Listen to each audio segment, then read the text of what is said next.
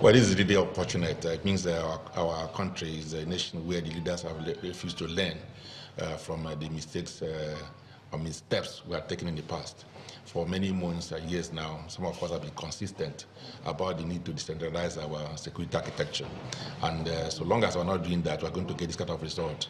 It pains me that uh, innocent people who have voted us into power to protect, their, them, to protect them, them and their properties are losing their lives and those properties because of taking, refused to take the correct uh, steps.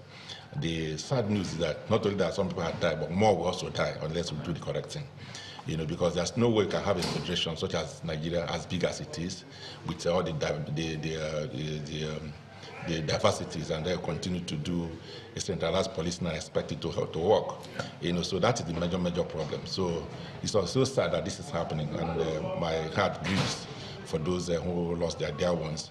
But as I said, the tragedy is that this is not going to be the last. More will die you know, because of refuse to do correcting. So I want to call on the federal government, the leaders of this country, for us to, for once, decide, you know, to protect the lives and properties uh, of those that we're leading, because that's the primary purpose of government.